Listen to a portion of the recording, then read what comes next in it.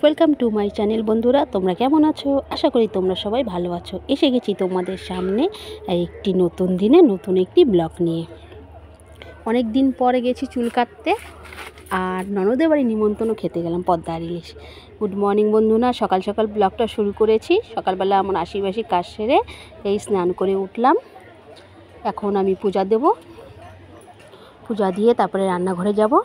তো পূজাটাও তাড়াতাড়ি, যেহেতু সকাল সকাল উঠেছি, তাই পূজাটাও তাড়াতাড়ি দেওয়া হয়ে গেল।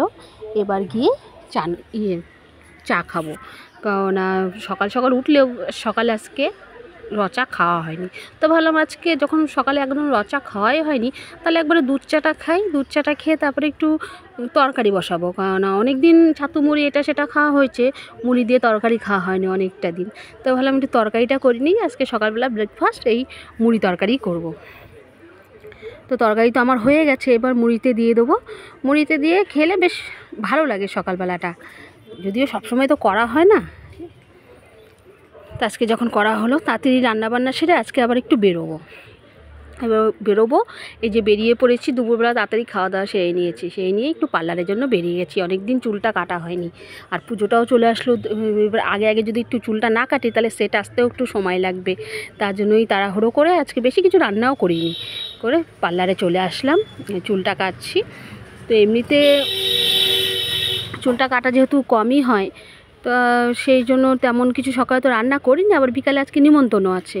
তো পার্লার থেকে গিয়ে এবার বিকাল, সন্ধ্যাবেলার দিকে একটু ননদের বাড়ি যাব নিমন্ত্রণ খেতে। তো এই দেখো আমার চুলটা কেটে দিয়ে, এবার তোমরা আমাকে জানাবে প্লিজ কেমন লাগছে আমার চুলটা কাটার পরে। তোমরা কমেন্ট করে বলবে। অনেক দিন পর আমি কিন্তু এই প্রায় দু বছর পর চুলটা কাটলাম। আসলে চুলটা খুব বাড়ে কম। সন্ধ্যাবেলা বেরিয়ে গেছি নিমন্ত্রণ খেতে। ছেলে আগেই পৌঁছে গেছে। যেহেতু আর ওখানে পড়াটা ছিল, টিউশন, তো সেখানে আজ আগেই বিকালবেলা ও চলে গেছে। তো আমি আর ও বাবা সবে সন্ধ্যার পরে বেরোলাম। এই চলে আসছি পদ্মার ইলিশ খেতে। তো এসে বসেছিলাম অনেকক্ষণ। এই গল্প, সেই গল্প অনেকটা রাত হয়ে গেল। যে দেখো এখানে রান্না হয়েছে ট্যাংরা মাছ, বড় ট্যাংরা মাছ হয়েছে, আর পদ্মার ইলিশ ভাজা, বাচ্চাদের জন্য মাংস। তো সব খাওয়া দাওয়া করছে, আনন্দ হচ্ছে, আনন্দ করছি।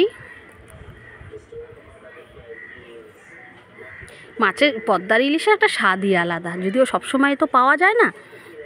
তাই পাওয়া যখন গেল, তাই ননদ ডেকে সবাইকে খাইয়ে দিল। আমার এই ব্লগটি তোমাদের কেমন লাগছে তোমরা প্লিজ কমেন্ট করে জানাবে। ভালো লাগলে লাইক করবে শেয়ার করবে এবং সাবস্ক্রাইব করবে। আজকের মতো ধন্য- ধন্যবাদ।